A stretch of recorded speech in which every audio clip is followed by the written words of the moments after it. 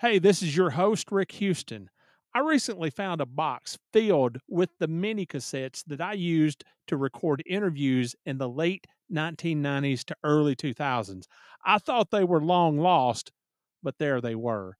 I would never have believed it to be possible, but we're now going to be able to bring you interviews with racers who've long since left us.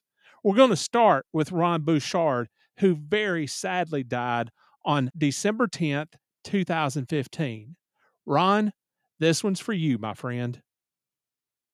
We went to Talladega. I always liked to go fast. You know, that never bothered me. And, uh, you know, got there and I could tell I had a fast race car. Because their cars used to always run good on the speedways. Bob Johnson always had good power. Uh, the thing drove good. And we got there and we practiced a little bit and, uh, I was sitting there and at that point couldn't figure out the draft. You know, had a hard time to pass cars and I couldn't figure out exactly what or how or what was the problem. And uh, Buddy Baker was parked right aside of us, driving for the Woods brothers. So I went over and talked to him. And he kind of took a liking to me. He started helping me, and he says, well, jump in that thing. He says, we'll go out and practice. You know, old Baker, he just loved to go out and run Talladega as long as they'd leave him out there. So he took me out there and he showed me a lot of things about drafting and uh, where to run and how to pass and what I was doing wrong. And uh, we, uh, you know, in that race we qualified 13th. So, you know, like I said, I knew I had a pretty good car.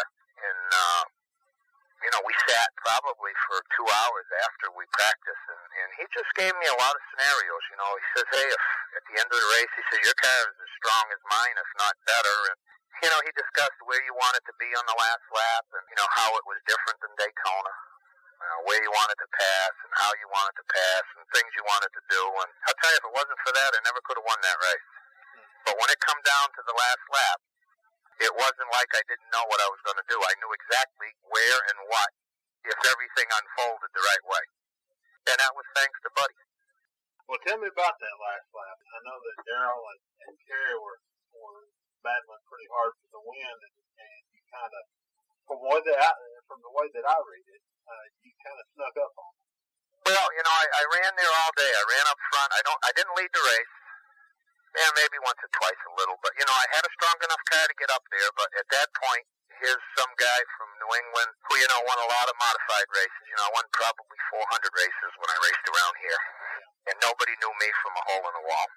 And you know, all day long I ran in the first five, six, eight, ten. All day I was able to stay up there. We had good pit stops, and um, and we were nearing the end of the race, and, and uh, I was just sitting there riding with Terry and, and Darrell.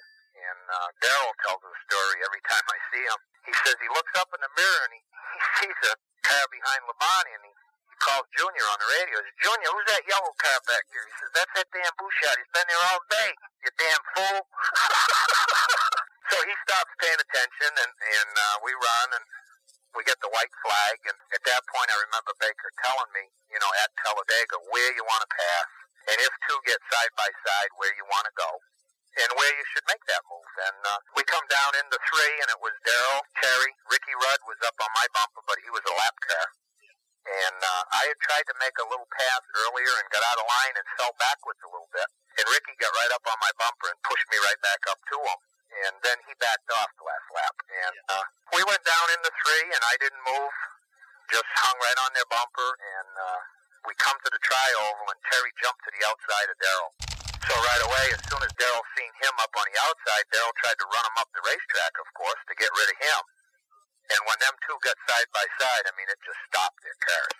I got a draft in between the two of them, and I just come right up on them, and it seemed like I was going 30 mile an hour faster than they were. And I just, as soon as I got to Darrell, I cranked that baby left and beat him by a half a fender at the start finish line. You know, and like I say, if it wasn't for Baker, I'd have stumbled for a minute there, and all it takes is a split second. If you make the wrong move or you go the wrong way in the draft, you back up. And what he told me, if there was a one one car you were trying to beat, if there was two cars you were trying to beat, or if there was three cars. But at Talladega, he says you can be as far back as fourth and still win this race. But this is where you need to pass, and this is where you need to do it. And we all know there was probably nobody any better in the draft than Baker at the big racetracks. You know, uh, he had his father's experience, and he was always good on the big racetracks. He liked them. He enjoyed racing them, and and uh, he used to work real hard on them racetracks. What did it mean to you to win that race? Well, it was, you know, it was just incredible. Um, you know, at, at that point, because of where the start finish line is, I wasn't sure if I'd beat him, and my radio didn't work. You know, we were kind of a low budget operation compared to a lot of them guys. You know, Jack had X amount of dollars. He, Jack had a lot of money, but he was only going to spend so much in them race cars.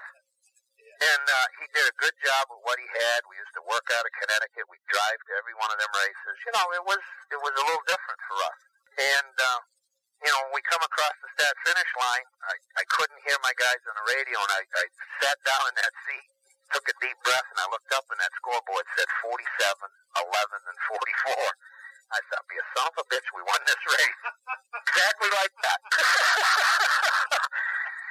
so I come down the road, and, and when I pulled on pit road, I see all my guys running out, and they were jumping up and down, and and uh, you know, a lot of them guys come over the wall and they congratulated me. People that you know at that point only knew of through going to Daytona and watch them race, and uh, I mean, it was just a, an exciting thing. We were there for the tear down. It took a long time. For a while, they thought the motor was two cubic inches too big when they checked it, and uh, I don't know if you remember Bob Johnson. Yeah. Yeah. They still aren't. Oh yeah, yeah. I talked to him last week at Loudon, two weeks ago. The official said, "Bob, this thing, uh, the stroke is a little too long in this motor." Bob says, "Just exactly the bullshit." He said, "I'll rip that crankshaft out with my bare hands."